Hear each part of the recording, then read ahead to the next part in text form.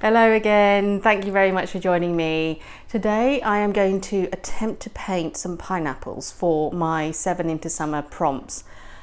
I am a little bit challenged by the thought, I have to admit. I'm going to be going back to using a bit of ink to define some of the shapes. I normally work quite loose, but I think today is going to be a challenge and I really wanted you to see how I cope when I'm faced with something a little bit more uh, out of my comfort zone. Even though pineapple is a fruit, there are a lot of different elements to it, so let's see how it goes. Today I've decided to use my Kuretake watercolours because I am bringing in some ink and I want the watercolours to be more expressive. In the other videos I've used Winsor & Newton but I find that these give greater cauliflowering or backflow effects so I'm going to pick out a few of these colours for today's pineapple. Colours I'm going to use today are lemon yellow, cadmium yellow, cadmium orange, sap green and lime green. I have a layout in my mind and I want a cut pineapple here, so cut in half and I'm going to start off by applying a little bit of the uh, lemon yellow wash.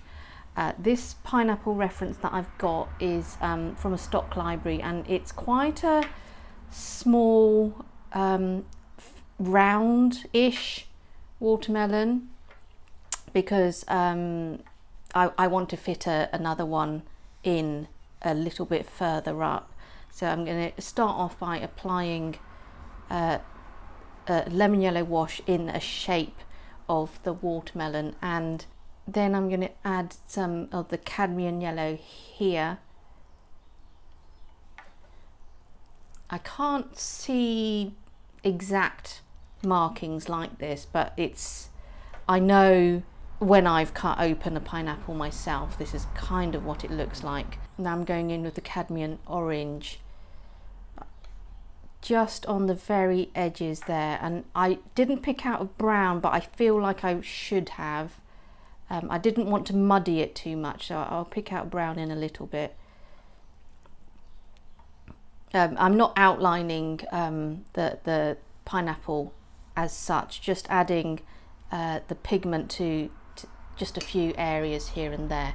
This is the definitely the easier option to start with. Um, it's the skin of the watermelon, not the watermelon. Have I been saying watermelon all this time? I'm really sorry. Pineapple. We are painting pineapple. I'm really, really sorry. Um, I, have been up since half six um, doing food illustration for clients, so maybe I'm a little bit tired hold on, let me move this down. Uh, I want to start. Oh, it was dripping off my brush. Uh, the spiky green parts, and again, I I really I will stop some of my overwhelm if I concentrate on the shape. Um, the best way to do that is just to squint rather than thinking, oh my god, there's all these spiky leaves. I'm I'm just gonna try and work out the shape of this the silhouette almost of these spiky parts just to begin with. And I'm just using lemon yellow to sort of give me an outline and an impression of it uh, so that I don't uh, start going to that place like I can't do this. I, I don't like pineapples. Right let's just do this really quickly and then I'll start dropping in a bit of green and again it's just a really really light wash. If I start with the the lime green so the lighter of the greens and just introduce it to a few sections and then I can go in with the sap green and let it mix on the page Okay, now let's introduce a bit of the sap green. So the sap green is going to, I'm going to be putting it where if I squint, I see the darker shades where it, where it, they attach themselves. or but not not too close to the central area here which is still very light I might just leave it like that because I'm going to resort back to using ink. Um, so I'm only giving an impression of it. Actually I was I know I mentioned about using brown um, finding a brown watercolor but I can actually use brown ink um, to pick out the edges of this watermelon. And now I want to move on to the trickier version which is the, the the skin with the, all the bumps.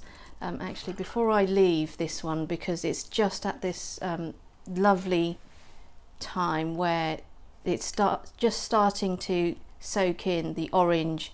I think on this side I added it when it was just, it's just spread out too much and I want to reintroduce some of this type of patterning. Lovely. All right, so let's try the tricky version now. Now for this version, I think I'm going to start off with the a base of the cadmium yellow and it's the same sort of basic shape.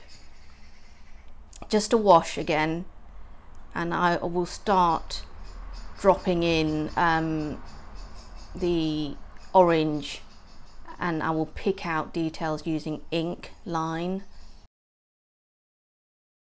um, that's one of the tricks that I've taught myself when I um, was learning how to become better food illustrator was to um, if I concentrated on the characteristics of each food the, the defining characteristics let's say um, you know it was a tomato. So it's basically round and also it's got a green stalk on top and if I just I know the tomatoes are, are quite simplistic. If I just left it said that to myself in my head it it was just so much easier. I, I want to make this easy on myself. Got a bit of cadmium orange. And this side has dried significantly faster. So um, I'm not going to get this sort of effect that I've just you've just seen happening here. I don't know why it has dried faster. Maybe because it, it's quite a sunny day here when I'm recording this.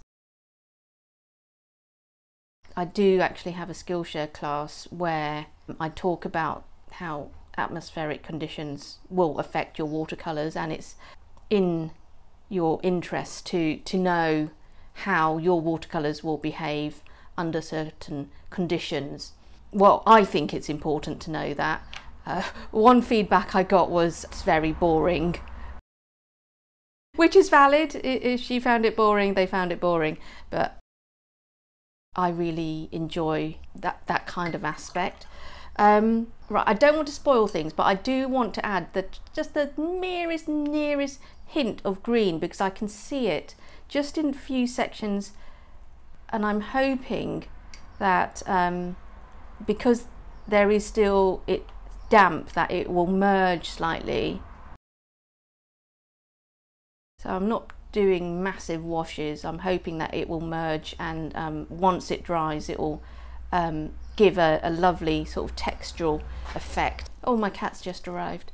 Um, dropping a little bit of the cadmium yellow in a few places because there doesn't seem to be quite enough contrast happening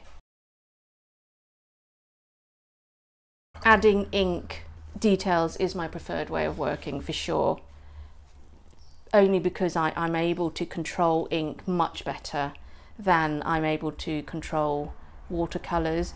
Uh, I, I, as you know, as you can see, I work very loosely in watercolors. Again, using the, the lime green and concentrating on the shape. Don't worry about the spiky parts. And I have to give myself little pep talks like that. Actually, I might add a tiny bit of lemon yellow to my brush.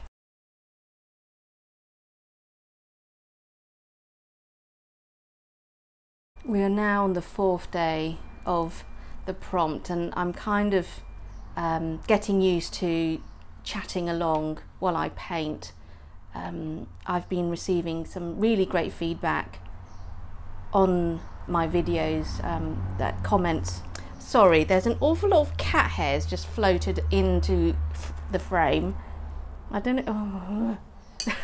Perks of being a cat owner.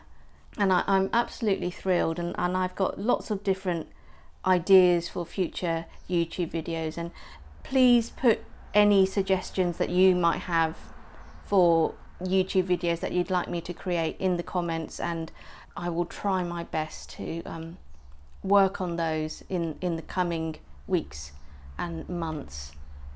Um, I find that being on YouTube like this, it is just really enjoyable. I can take my time. I might do time lapse process videos in future, but I, I quite like painting in real time and showing you my process and sharing what I'm thinking at any given time. So I do think um, rather than it stopping dead here, um, I think I need to merge a bit of green into the body of the pineapple and it's a little bit too um, narrow here. This side in particular is very dark and I'm still only using the colours that I showed you right at the beginning so that's only five colours and I'll be introducing uh, ink in a little bit. I think we need a tiny bit more lime green up here. Oh lovely and I'm really glad I've chosen the Kuretake watercolours because they just have a beautiful brilliant effects and I much prefer it to um, Winsor & Newton when I'm working like this or when I'm working with collages just because of the effects it creates. I'm going to pause the video now because I need to let this dry otherwise the ink is going to run all over this. Be back soon. This is the ink I'm going to be using today. It's Nut Brown by Winsor & Newton and this is the nib. It's called uh, Blue Pumpkin by Brause and I think the handle is by Brause as well and it gives a lovely quality of line. I'm going to start on the uh, tips of the spiky parts of the pineapple and I'm not going to be outlining it um, every single thing spike that's there. I want to give the impression that th this is where what's occurring um, and I'll let the human eye make up the rest of the story. And down further down here I haven't included every single spiky thing but it, it's um it's I didn't include it in when I painted in the green but I can include elements of it using ink Um, I don't want to be adding too much here because I, I want it to be balanced the the watercolor that I, I have used on here which is quite delicate in some ways I suppose. Finish off the rest of the spikes. So using the ink to emphasize the the spikes which are in front. There we go. I like that one. I don't know about you. Sometimes I draw a very nice line and I get very, very happy about that. I have to celebrate the small things, like, oh, that's a lovely line. And the reason I'm using browning is, well, actually, it was something that a tutor told me in college when I was studying illustration. It's softer on the eye especially for um, the, the, type of work that I'm doing here. You can use black ink if you want, um, but it's something that he suggested that I do when I was a student and I've pretty much done it since and um, I do use black ink but for different purposes, not, not for adding detail like this. And I think that the warmth of the brown really adds something to the oranges of this pineapple. So I've just added a few extra spikes that I didn't paint in, in green. That's really nice. And I think I need a few line work, uh, sorry, ink work spikes just here. I, am so pleased to be um, introducing ink today. When I wrote the prompts, I, I had this thought that I would just use watercolour. Um, I will explain uh, at a later date why I was trying to gear myself up for that. Um, I don't often just use watercolour so it, it's been a challenge for me the last few days and part of the reason I, I like to take part in prompts is to challenge myself and, and do something a little bit different and move out of my comfort zone which um, I've decided not to do today because pineapples are uh, just that little bit trickier and I have been up since half six. so this is kind of like my get out clause. Um, I've I've noticed that I've almost outlined this side of the pineapple and I and I I don't think that needed to happen actually. Now this one, um, because it's not been cut in half, we've got the whole spiky thing going on and in in the past I would try to draw every single spike in, every single uh, leaf. I would just drive myself bonkers trying to achieve that. So what you'll see me now do with the ink is just add suggestions of it. Um, there was actually a project that I did. It's for a smoothie company called Evolution Fresh, but uh, the packs were going to be sold in Costco. And because it was a food client, a branding client, as you can see, once this ink is down, it is down, and there's nothing I can do about it. But the the way that uh, food illustration projects work out, there's often a, a set of amendments or even two um, that need to be factored in. So what you saw me do before, I said I, will scan that in and then I'll draw on top in Procreate in uh, like a, a fake ink style and they were really pleased with the results and um, you should you can see that on my website.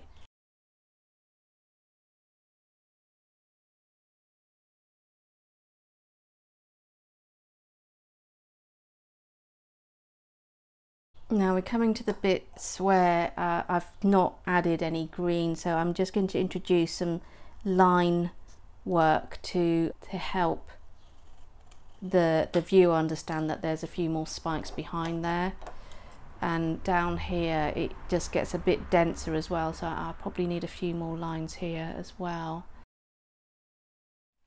We're now coming to the section where I really did used to drive myself completely bonkers. Because I would try to draw in every individual little it's almost like a hexagonal.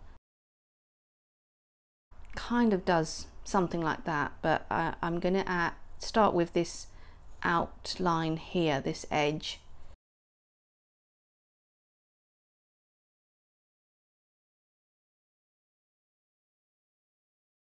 I have to be mindful that I do not need to include everything. It is just an impression.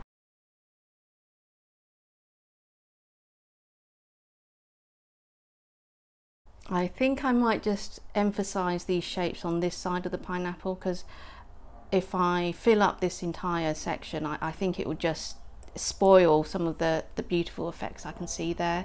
That's just a personal choice. Oh, this is looking really nice.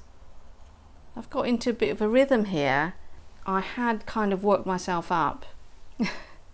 and I almost didn't include pineapple on the prompts because um, I have a bit of a, a mental block about them. I have illustrated pineapple but I'm not sure if I've even done a recipe with pineapple, an illustrated recipe. I've illustrated many things, So this might turn into an illustrated recipe later on. Oh, that's so nice. I think if I could just add a few more little spiky sections there, just, just to help the viewer understand that this is the edge. I'm really pleased with that. Let's have a really quick assessment of this because it is really important to take a step back and consider where we have learned something new, where we had our challenges. I kept it simple. I thought I'm not going to try and depict it in just watercolour. I need to bring in the ink because I wanted to pick out this detail using the ink and I simplified it even further because of that. So sighing with relief because I'm, I'm really pleased with the outcome.